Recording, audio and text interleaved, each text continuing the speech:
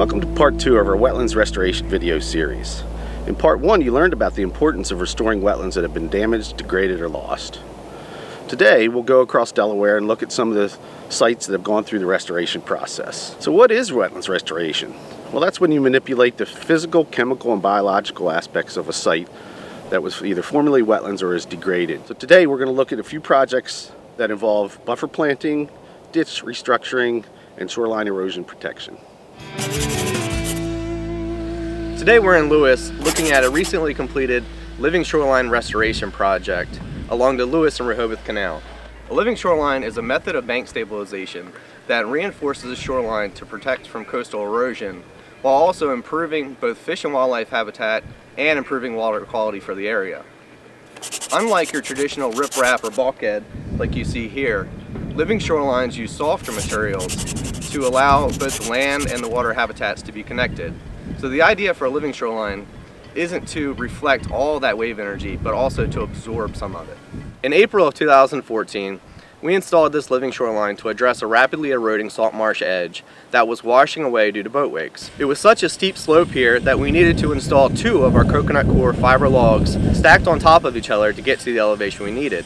We waited several months for mud from the naturally turbid channel to settle out into our restoration project and gradually build that elevation up. To further reinforce the coconut coir logs, we installed a row of oyster shell bags to absorb and reflect some of that wave energy, as well as provide additional habitat for fish and shellfish. In April of 2015, the elevation was high enough and we came back and we planted Spartina alterniflora. Now, in November of 2015, you can see that the plants we installed are thriving and we expect that the plants as well as the mussel community will continue to grow and help to reinforce this shoreline. As the plants continue to grow and thrive, the logs that we installed will basically disappear and you probably won't even be able to tell we did much work here, but what will be left is a healthy, functioning salt marsh that will protect the habitat behind it. Living shoreline projects may need to be adjusted or maintained in the future. However, successful projects have survived multiple hurricanes and nor'easters throughout the mid-Atlantic region where hardened shorelines have failed.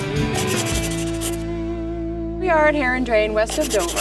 In 2008, DNREC took this deep tax ditch, installed a series of meanders that slows water down as it passes through this wetland habitat.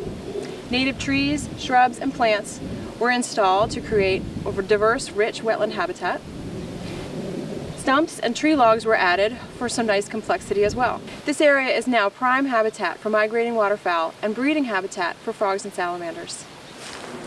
As water meanders through, plants and soils absorb excess nutrients such as fertilizers and harmful chemicals from the water, allowing cleaner water to exit. Water from the Heron Drain will flow into the Cowmarsh Creek, the Choptank River, and eventually the Chesapeake Bay. Behind me is Mirror Lake, downtown Dover, Delaware.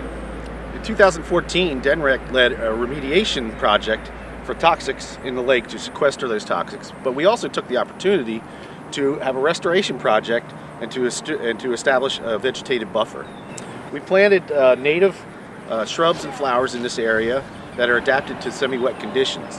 Once this becomes established, it provides excellent habitat for ducks and wading birds, but it also provides uh, some relief from storm events and the, and the, impacts from storms, and it helps absorb floodwaters.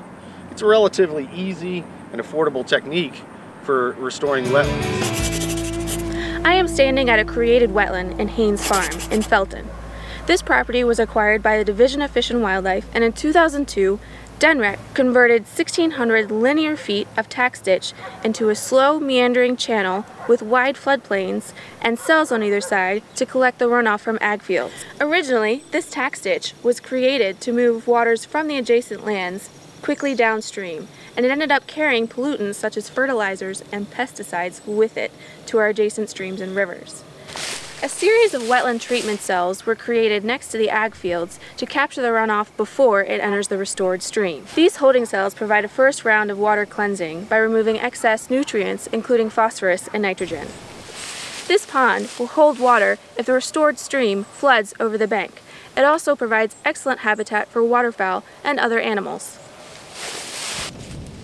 Last but not least, this entire stretch of restored stream was planted with native trees that include bald cypress, black gum, chestnut, and oak. Now, 13 years later, this beautiful area has plants and animals that are flourishing. If you're a landowner that's interested in doing wetlands restoration on your property, you may be eligible for both financial and technical assistance. Please visit our Delaware Wetlands webpage and read about our restoration success stories. Thank you for joining us in this wetlands restoration video series. We hope you enjoyed it and learned a lot about wetlands restoration. It's important to recognize both the ecological and economic benefits that wetlands provide to us every day.